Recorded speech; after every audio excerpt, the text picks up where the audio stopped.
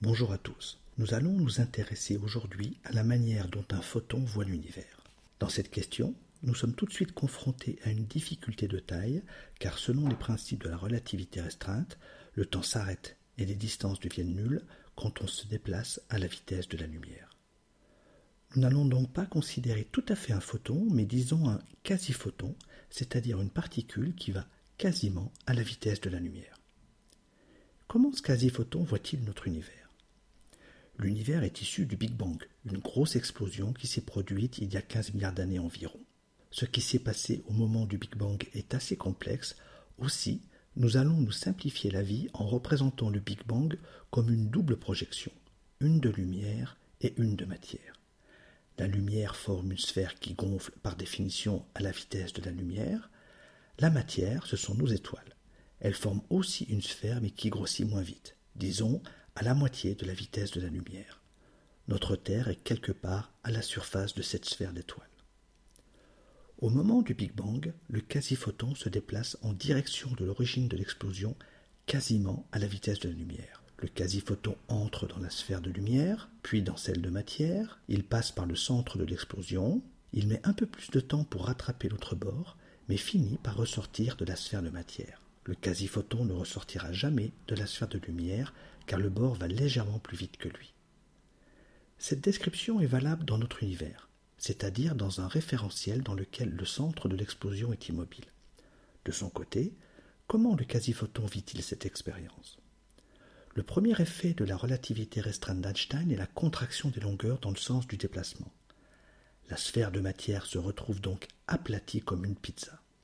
Le quasi-photon étant immobile, la grosse pizza est projetée quasiment à la vitesse de la lumière et passe autour de la particule en quelques secondes. Le peu de temps que représente cette traversée est le second effet de la relativité restreinte.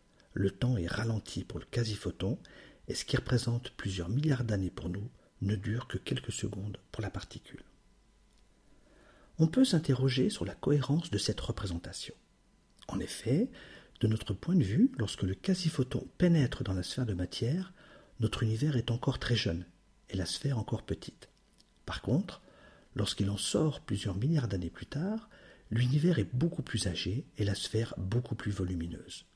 Vu du quasi-photon, Comment une telle différence s'explique-t-elle alors que la traversée ne dure que quelques secondes?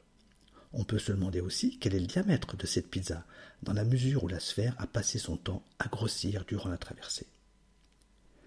Essayons de représenter plus précisément cette pizza. La relativité restreinte contracte les distances dans le sens du déplacement, mais pas dans les deux autres directions. Ce qui se passe dans un plan perpendiculaire au déplacement est donc identique dans les deux points de vue. Repassons l'histoire initiale en notant ce qui se passe dans ce plan perpendiculaire. L'intersection avec la sphère de matière est un cercle qui grossit régulièrement, arrive à un maximum, puis se met à rétrécir jusqu'à ce que la particule quitte la sphère de matière. En mettant ces cercles bout à bout, on obtient un ellipsoïde.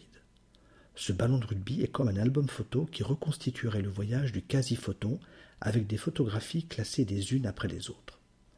Les photos des premières pages sont celles d'un univers plus jeune et celles de la fin d'un univers beaucoup plus ancien. La différence d'âge se visualise assez bien. Les étoiles ne sont pas très denses à l'arrière du côté vieux, alors qu'elles sont très nombreuses à l'avant, côté jeune. Eh bien, c'est ce ballon de rugby qui est contracté par la relativité en une pizza. On voit le troisième effet de la relativité restreinte, l'inclinaison du temps, appelée plus classiquement la perte de simultanéité l'avant de la pizza n'a pas le même âge que l'arrière. C'est en quelque sorte comme si la pâte était brûlée alors que les tomates sont encore crues. Pour le quasi-photon, bien que la traversée ne dure que quelques secondes, tous les plans successifs défilent à toute allure, mais ils sont tous là. Que se passe-t-il maintenant pour la sphère de lumière? Utilisons à nouveau notre plan perpendiculaire pour prendre des photos. Comme tout à l'heure, l'intersection est à chaque fois un cercle qui grossit. Mais cette fois-ci, la taille du cercle ne rétrécit jamais, car le quasi-photon reste prisonnier de la sphère. La forme résultante est un hyperboloïde, une espèce de cône au bout arrondi. Ce cône est lui aussi contracté dans le sens du déplacement lorsqu'on se place du point de vue de la particule.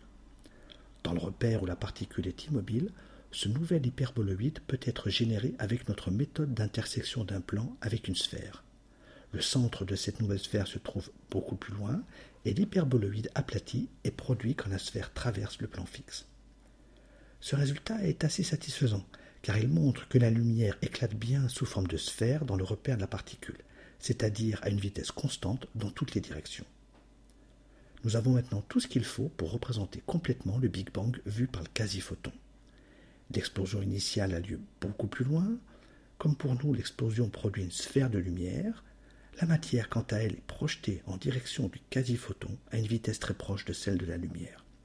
Elle reste à proximité de la surface. Juste après que la sphère de lumière traverse le quasi-photon immobile, la pizza de matière surgit à son tour. Revoyons les deux histoires juste pour le plaisir. À bientôt.